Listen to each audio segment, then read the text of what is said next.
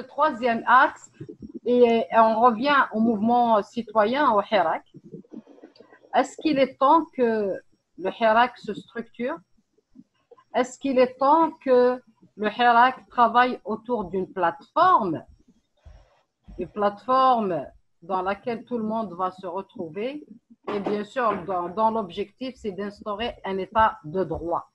Il ne suffit pas d'exiger que ce régime parte, n'est-ce pas? Mais est-ce que le Hirak est rendu au stade d'action concrète qui vont assurer l'avenir ou une suite prometteuse pour tout un pays et pour tout un peuple? Cette fameuse plateforme, tout le monde en parle, mais est-ce qu'elle serait possible? En fait, euh, nous avons eu des expériences euh, chez nous. Il faut aussi prendre en considération les expériences des autres peuples dans, sous d'autres cieux. Euh, le mouvement actuel n'est pas encore longé. Laissons-le venir sobrement pour que nous puissions mieux voir sa vraie composante. C'est vrai que nous avons des adversaires idéologiquement parlant et qui sont soutenus. Ils ont des soutiens terribles.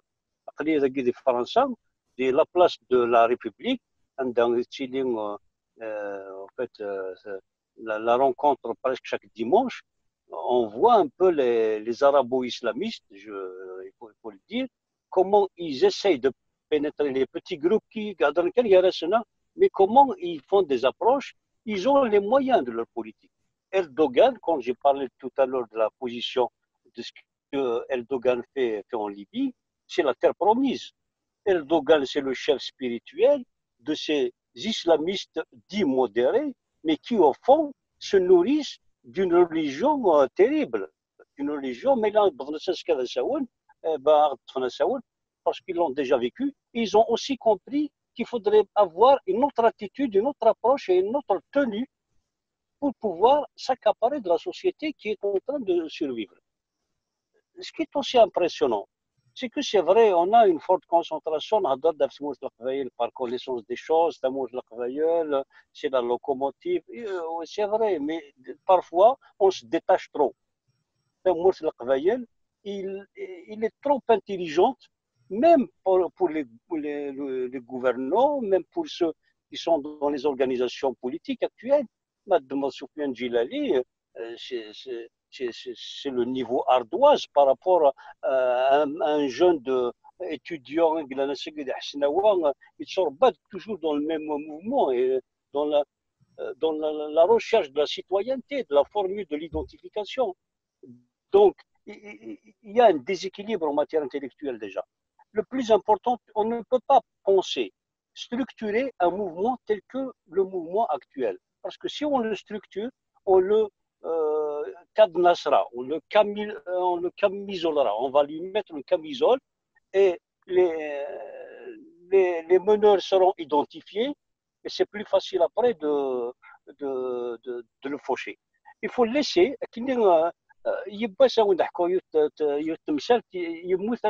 en 2001 un jeune qu'on appelle Bettar. Il a été touché d'une balle dans le crâne. Il Mousse, il avait à peine 17 ans. Donc, Arash Nariglan, et ses on est saoudien, il faut qu'on l'accompagne à cheminer dans un petit village pauvre, euh, pauvre. Donc, on est parti, on a une, une délégation, on a voir le matériel, la caméra, une grosse caméra, parce qu'il faut faire aussi une image professionnelle qui peut être diffusée à travers des chaînes de télévision. Si on fait juste euh, avec des, des, des, questions amateurs, on ne peut pas aller de l'avant. Il faut vraiment consacrer tout le temps possible si on veut faire de la politique. Mais en politique, après c'est bon.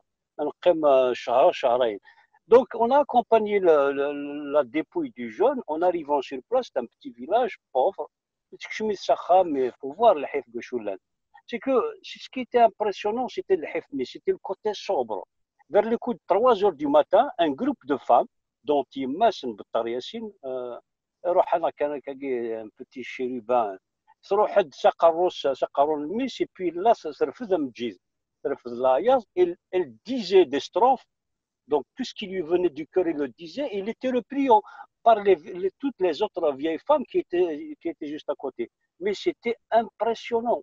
On ne peut pas structurer une telle émotion, ce que je veux dire. Une émotion pareille doit traverser la société pour que nous serons inébranlables.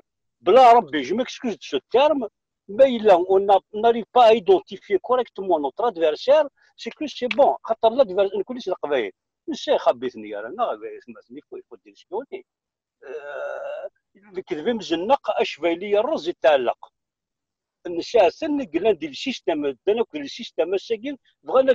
pour que ça soit encore plus ils s'attaquent même c'est qu'on ne peut pas structurer un mouvement qui est, qui est en polygone étoilé, comme le disait Katbiassine. Il faut laisser les choses venir parce qu'il est sobre. Il faut, il faut ont peur de ça, ils ont peur de nos danses ils ont peur de nos maquillages, ils ont peur de nos, effets vestimentaires, ils ont peur de nos dessins, ils ont peur de, petites fresques qui se font dans les petits quartiers, ils ont peur de tout ça. C'est pour ça qu'on les voit, ils s'affolent, ils ne savent plus sur, sur qui euh, tirer. Parce qu'ils n'ont pas la cible. La cible, euh, c'est l'ombre. Ils ont peur de notre ombre parce que nous sommes une paroi ombragée. Pour eux, c'est une paroi, mais pour nous, on est une, sorte de locomotive. Nous tirons aussi, nous connaissons des Français, euh, j'ai même intégré le, groupe des Kurdes parce qu'on nous donne des idées, on voit comment ça se passe. qui sont en train de, qui sont au front actuellement au Libye, ils sont au front, armes à la main. Il faut dire ce qu'on est. Si on voit un truc assez global à l'échelle euh, Afrique du Nord, ils sont là. Ils sont là, ils nous convient pour des manifestations parce que si on voit un truc global, on peut y aller. Mais ça va venir petit à petit, petit à petit. Mais si on pense game, on a eu les exemples.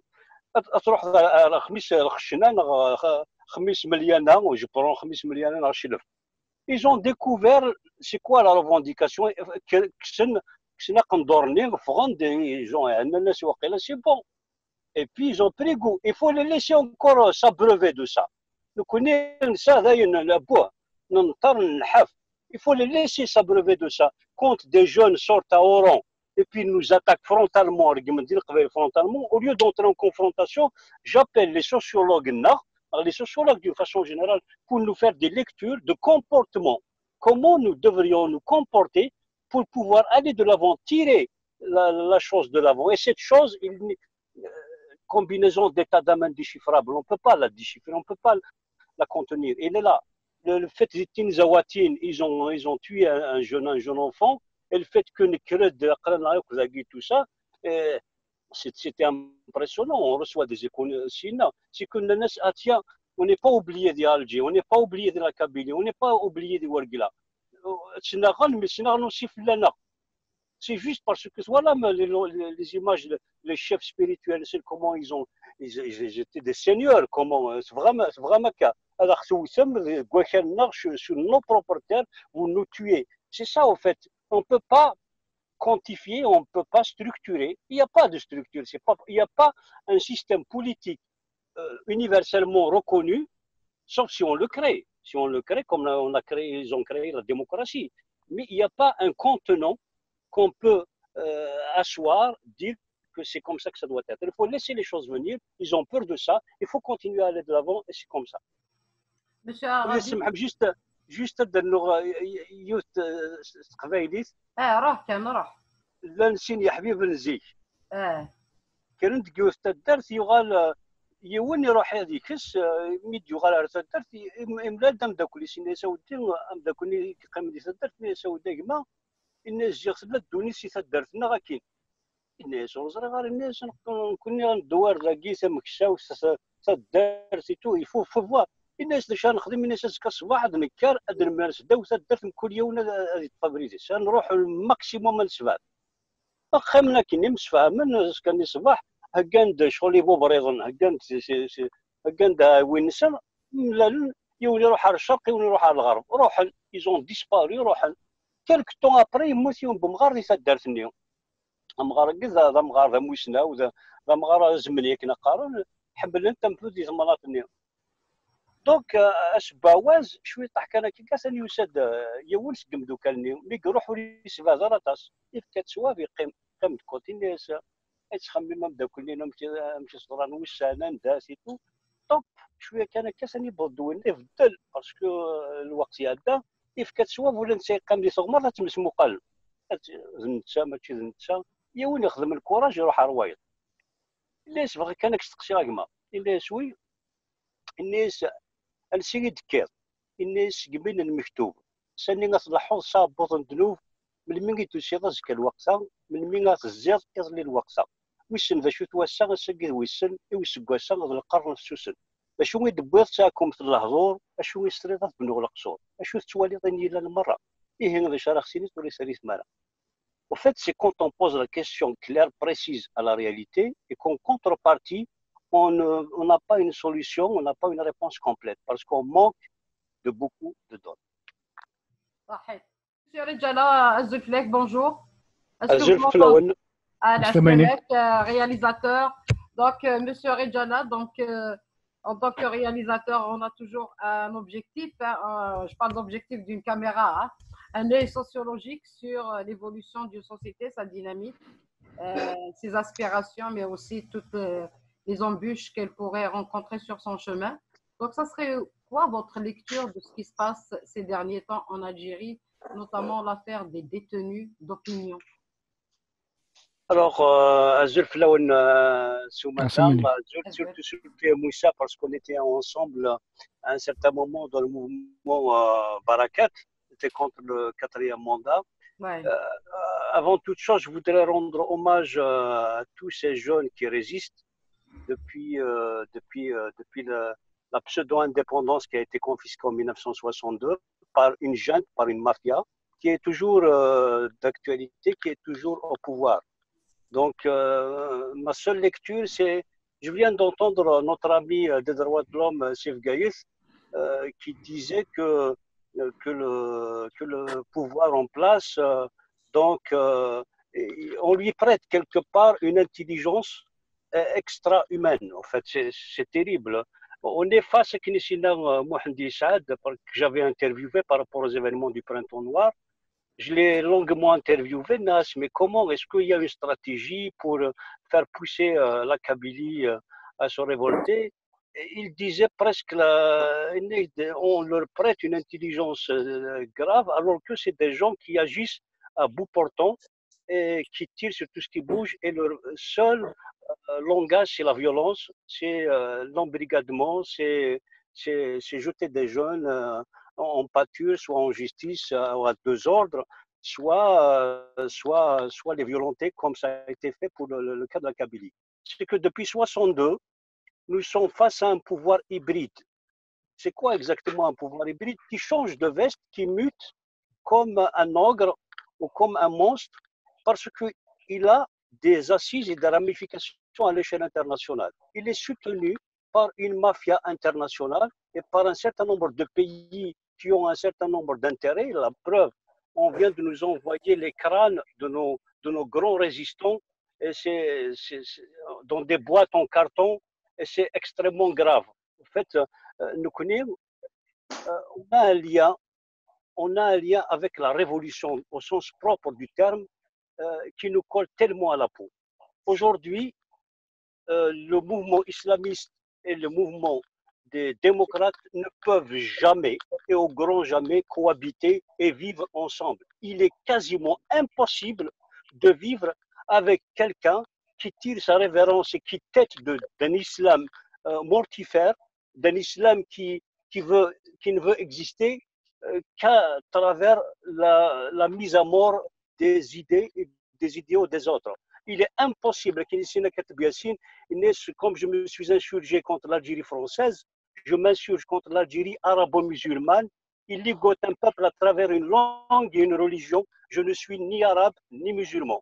Si on parle de ce principe, vivre ensemble, c'est quasiment impossible parce que ça nous renvoie vers l'acceptation de toute la civilisation nord-africaine qui se repose sur une culture savante, une culture de respect, mais sauf que Nifning, ils sont venus euh, stratégiquement euh, pour nous mettre KO et nous mettre à côté. Il n'y a pas, de, il y a pas de, stratégie directe avec le gouvernement dans le régime en place. C'est des mains, des mains de l'extérieur, particulièrement le mouvement, le mouvement actuellement militaire qui se fait par Erdogan en Libye euh, est extrêmement révélateur. Il se trouve qu'actuellement, on a des détenus, mais c'est des, des, détenus un petit peu à, deux mesures. On les utilise parce que l'ONU a intervenu, parce que l'Amnesty International a intervenu, mais on peut les reprendre demain en prison parce qu'ils sont en stand-by. En fait, c'est tout le peuple qui est en stand-by. Moi-même, j'ai été blessé lors des événements de Kabylie. J'ai accompagné tout le mouvement citoyen de, dans le cœur. Euh, j'ai rencontré les sénateurs démissionnaires, j'ai rencontré les, les blessés, j'ai des images ahurissantes où il y a un crime, il y a eu un crime contre l'humanité. Si je prends ah, vous parlez de, de 2001, hein, le printemps noir. 2001.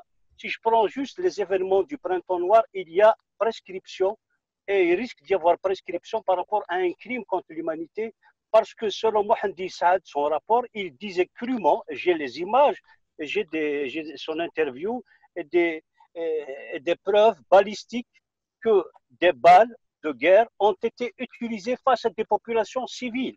Il y a eu un ethnocide, il y a eu un crime contre l'humanité. Là, d'un point de vue euh, de l'usager de la culture, parce que c'était, des cabines. Mais on parle aussi de crimes économiques à l'échelle internationale. Quand on prend euh, actuellement tous les anciens ministres du régime de Bouteflika, et quand je dis régime de Bouteflika, il découle de Boumdien, il découle de ceux qui ont pris le pouvoir de force en 1962, Actuellement, ils sont presque dans la totalité à Paris, dans de grands immeubles, dans de grands appartements, sous, juste à côté du Quai d'Orsay.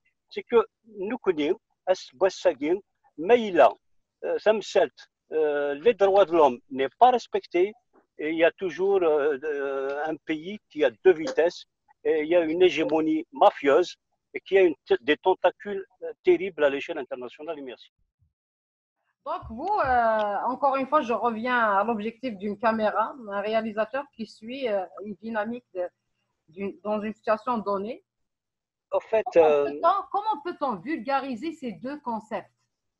Est-ce que ça Alors, en fait, euh, c'est que l'Algérien de nature est féru de tout ce qui a trait à l'image et à l'imagination et à l'imaginaire.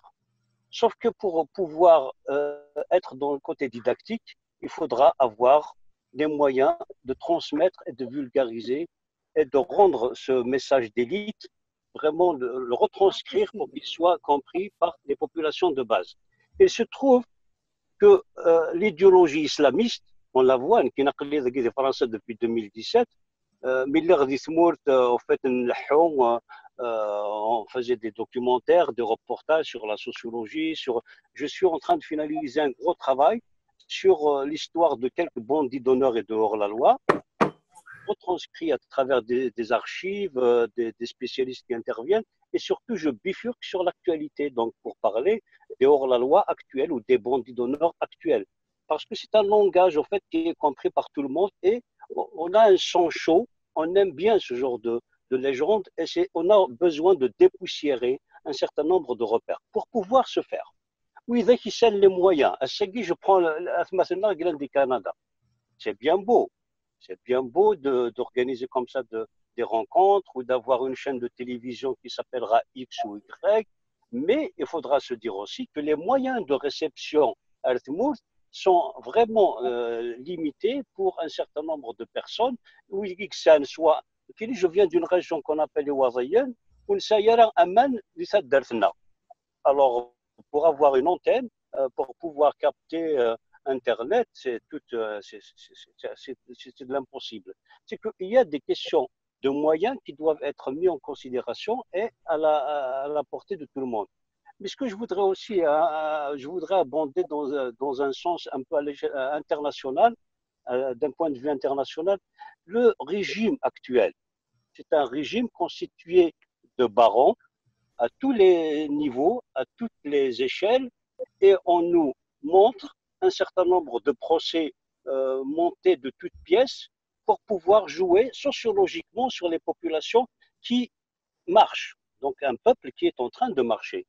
Euh, comment, comment ce régime, je le disais tout à l'heure, comment les personnages de ce régime sont arrivés à avoir une intelligence pareille?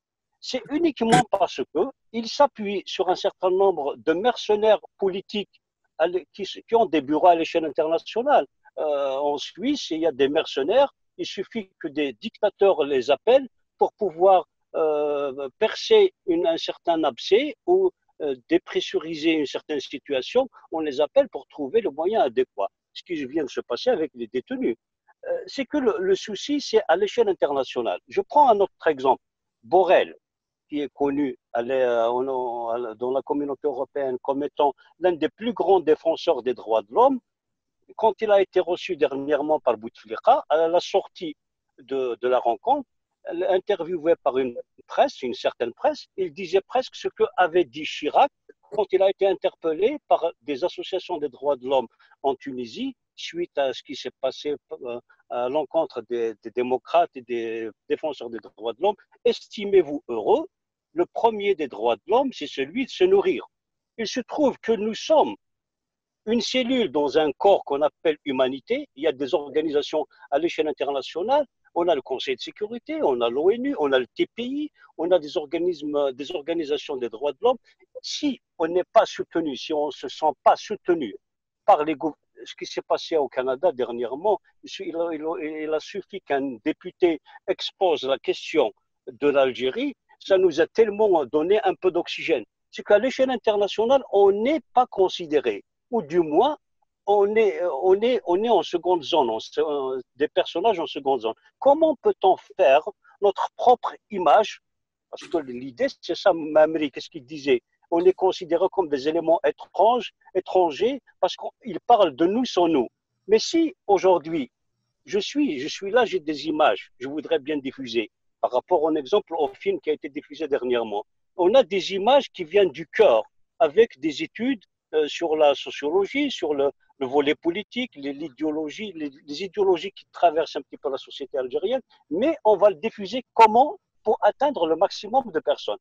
Moi, je ne suis pas prêt à faire village par village parce que je l'ai déjà fait, à faire village par village. On n'a plus les forces, on n'a plus les énergies et surtout, il faut consacrer le peu de temps qui, du moins, parce que j'ai la latitude d'être un petit peu dans la recherche documentaire. On a la mémoire n'a si on ne la retrouve pas correctement en, intact, on est toujours un peuple traumatisé. Là, je rejoins l'idée, euh, l'idée, on, ne peut pas se débarrasser de nos traumatismes parce qu'il y a un cumul, et c'est un cumul terrible qui se répercute automatiquement sur les nouvelles générations, parce qu'un enfant de 14 ans euh, a dit a dit au lieu qu'il soit euh, un petit peu dans son âge d'adolescent, il y, a problème il y a problème parce que ça se répercute sur des générations qui risquent un petit peu de, traîner, euh, de traîner des difficultés psychologiques, des traumatismes à l'avenir. On peut faire, euh, Merci sauf qu'il faut avoir les moyens. Ouais. Ok. Donc, je دي نظام ولا قالوا fait non ولا je veux dire l'émission Proseguet êtes-vous optimiste quant à la suite des choses bon, bon, non en fait si on n'est pas optimiste un seul un seul avoir et puis c'est bon quoi c'est pas possible c'est que le plus important c'est qu'il ne faut pas qu'il y ait une rupture générationnelle euh, il y a une matière grise euh, des grande potentialité au début des mois dernièrement j'ai été arrêté malmené à chaque fois c'est la même chose. Donc euh, j'essaie par tous les moyens de nous couper des réalités donc dans la diaspora. En fait la diaspora c'est un peu trop dit c'est même c'est un mot un peu galvaudé. Il faut trouver une terminologie propre à nous euh, même si on fait une fraude, un euro, c'est pas ça. En fait. A, c'est terrible. Il faut des risques. On est dans des pays où on peut faire beaucoup de choses. C'est qu'on est devenu des êtres sociaux broyés un petit peu par nos, nos quotidiens. parce qu'on a des familles on, on, pense un tout petit peu plus à Tmourt, mais différemment, parce qu'on ne vit pas la réalité. La diaspora ne fait pas grand-chose. C'est le premier constat. soit les mêmes régionaux du Canada, c'est bien. Il y a des petits mouvements, pas sporadiques, euh, euh, mais on peut les quantifier. Puis de, de, chaque semaine, des fois ça diminue, des fois. On ne fait pas aussi un travail en direction des autres cultures, des autres peuples et des institutions internationales. Rien ne se fait. Euh, on vient de dire que juste les événements du printemps noir, c'est un crime contre l'humanité. Quand des jeunes recevaient des balles de guerre, avec des orifices de plus des fois de 10 cm, il y a des rapports médicaux. Aucune saisine internationale n'a été faite. il faut prendre le métro, on est plus devenus des êtres, on essaie plus dans le gain, comme le disait tout à l'heure euh, M. Larabi, pour pouvoir assurer, parce que les Français, c'est qu'on n'a pas une, une, optique, une optique internationale de, de, notre condition On est en train de se mourir à petit feu. Pourquoi je prends le mouvement euh, euh, Rachad, les associations Nahda, on en a des mots de نشفى اسمين غير تفوتفل ذنيثني qui organisait des interventions pour prendre de la marchandise des denrées alimentaires à Touzrine. Je les ai vus euh, du côté de la wilaya. C'était des islamistes qui avaient les moyens, qui venaient du Qatar, qui venaient de l'Arabie saoudite, qui venaient du Koweït, qui venaient euh, de ces suspects, ils avaient les moyens, ils nous devançaient socialement. Nous connaissons ça, hein. si leurs maisons sont alignées, c'est par souci d'égalité. Ils سطوت بغير الجاريو يسدرت وكرني يسدرت نكيني يسلم استدرت ارزاني خام يسلم استدرت بوني دي دوكيومون ارزاني خام يسلم استدرت c'est pour dire que la nayanine, on a tendance à parler de la nayanine, tout ça. Rien. Il faut trouver d'autres mécanismes pour que nous ne nous diluons pas, nous nous diluons pas dans, dans, dans, le magma, le magma de la mondialisation. Sinon,